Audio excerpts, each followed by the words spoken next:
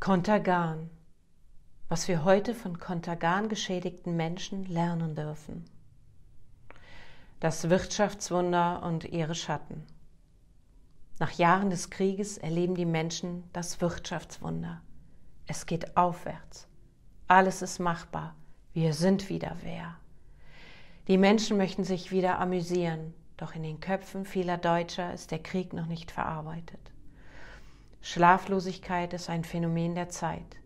Posttraumatische Störungen gehen einher mit innerer Unruhe und Stress und das Schlucken von Tabletten gehört zum Lifestyle. 1957 kommt ein neues Mittel auf den Markt. Es verspricht Ruhe ohne Reue. So finden Schlaf und Beruhigungsmittel einen reißenden Absatz. Contergan wird zum beliebtesten Schlafmittel der Deutschen. Das Medikament Contergan mit dem Wirkstoff Thalidomid war genau das, was alle gesucht haben. Es verspricht, Ängste aufzulösen und Beschwerden zu heilen. Schwangerschaftsübelkeit soll das Medikament beheben, dabei ungiftig und völlig harmlos wie Zuckerplätzchen sein. Contergan ist in jeder Apotheke frei verkäuflich und Chemie Grünetal mit Sitz in Aachen macht pro Monat 1,2 Millionen Umsatz. Zwischen 1957 und 1961 werden 310 Millionen Tagesportionen verkauft und genau neun Monate nach Einführung des Medikaments kommen Menschen mit Missbildungen zur Welt. Ein Arzneimittelgesetz gibt es noch nicht. Selbst nachdem der Zusammenhang zwischen der Einnahme und den Fehlbildungen bei Neugeborenen deutlich wurde, wird Kontergan nicht vom Markt genommen. Im jahrelangen Prozess spielt Grünetal auf Zeit, der darauf hofft, dass die ganze Angelegenheit verjährt, während die Eltern mit ihren Problemen allein auf sich gestellt sind. 5000 bis 10.000 geschädigte Kinder erblicken das Licht der Welt. Viele überleben aufgrund der schwerwiegenden Schädigung das erste Lebensjahr nicht. In Deutschland leben heute von 5000 noch ca. 2400 Menschen mit diesem unfassbaren Schicksal. Meine Begegnung mit Kontergan geschädigten Menschen. Im Juni 2018 berührt mich dieser Skandal hautnah. Die Vorsitzende des Hilfswerks Kontergan geschädigter Menschen aus Rheinland-Pfalz nimmt bereits im März Kontakt mit mir auf und 27 betroffene Menschen möchten in meine Praxis kommen. Fünf Tage wohnt die bunt gemischte Gruppe, die sich teilweise schon seit ihrer Kindergartenzeit kennen und mittlerweile Ende 50, Anfang 60 sind, im anliegenden Hotel und bekommen in meiner Praxis je nach Bedarf ayurvedische Massagen, Lymphdrainagen oder Fußreflexzonenmassagen. Ich fühle Freude, Betroffenheit und Demut, diese Menschen in ihrer Ganzheit berühren zu dürfen. Und zu meiner Tür kommen Menschen mit verstümmelten Armen und Händen, ohne Beine, ohne Ohren, Gesichtslähmung oder fehlenden Organen je nachdem, in welcher Schwangerschaftswoche der Wirkstoff Thalidomid auf das Entwicklungsstadium des Embryos eingewirkt hat. Ich staune über ihre unfassbaren Fähigkeiten, ihren Lebensmut und Willen. Wie selbstverständlich wird mit dem Fuß unterschrieben oder die Tasse zum Mund geführt. Eine Frau schreibt mir einen kleinen Brief mit ihrem Dank, und ich kann nicht glauben, wie ebenmäßig schön diese geschwungene Handschrift ist.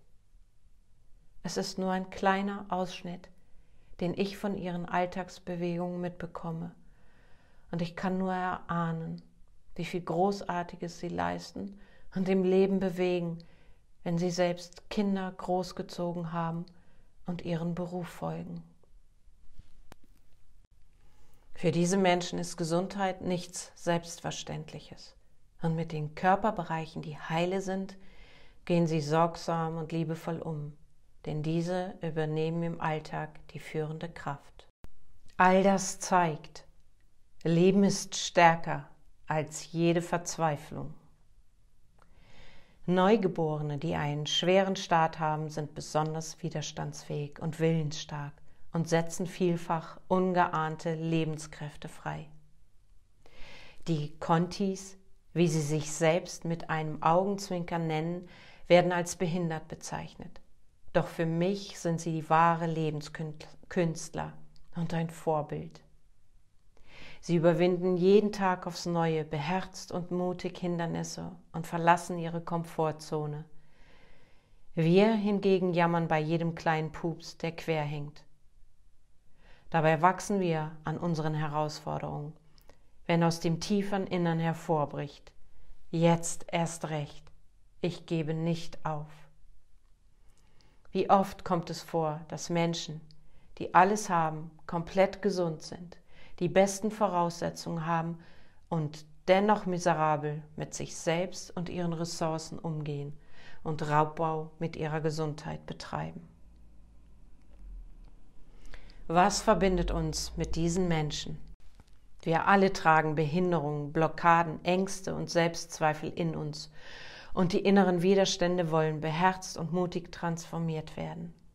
Ich frage im übertragenen Sinne, wo fehlen uns Arme und Hände, um ins Handeln zu kommen, Beine und Füße, um den nächsten Schritt zu wagen, oder Ohren, um den wahren Sinn zu hören. Wie erlebst du deine Vergangenheit, dein Schicksal? Bist du ein Grünentalopfer und lässt du immer noch zu, dass die Vergangenheit deine Gegenwart und deine Zukunft bestimmt und dich vergiftet? Bedingungslose Liebe will fließen.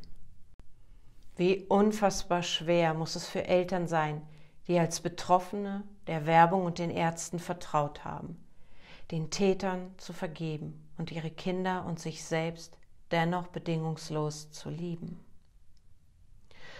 Und manche ringen vielleicht bis heute noch darum, mit ihren Kindern endlich erlösend darüber sprechen zu können. Der Schlüssel liegt in unserem Herzen. Lassen wir unsere Liebe dorthin fließen, wo noch keine ist, denn dort wird sie am meisten gebraucht. Bedingungslose Liebe bedeutet, dass du Liebe genau dorthin bringst, wo es dunkel ist. Vielleicht wird von dort keine Liebe zurückkommen. Sie ist ja bedingungslos. Es gibt keine bessere Zeit als die heutige, um die Qualität der bedingungslosen Liebe zu entfalten. Wir alle sind in einem Boot und auf dem Weg. Die Reise in unsere Vollständigkeit. Wenn dir im Außen etwas fehlt oder mangelt, selbst wenn dir Arme und Beine fehlen mögen, sind und bleiben wir im tiefsten Innern vollständig und heil.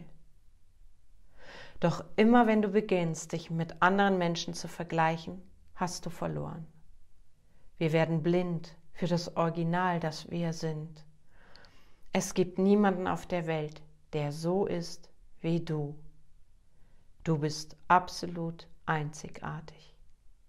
Dich zu vergleichen führt dazu, dass du deine Einzigartigkeit vergisst und anfängst, den Weg von jemand anderem zu gehen, anstatt deinen eigenen unvergleichlichen Weg. Der Weg, der deine Talente und dein Geschenk für die Welt ans Licht holen wird. Hab den Mut, dich selbst zu sehen, als das wertvollste Wunder, das du bist. Für jeden von uns gibt es einen Platz und einen Weg auf dieser Welt. Du bist keine Kopie und du kannst von niemandem ersetzt werden. Aus diesem Grund ist es so wichtig, dass du nicht das Leben, die Erwartungen oder die Träume von jemand anderem lebst, sondern dich auf die schönste Reise deines Lebens begibst, der Reise zu dir selbst.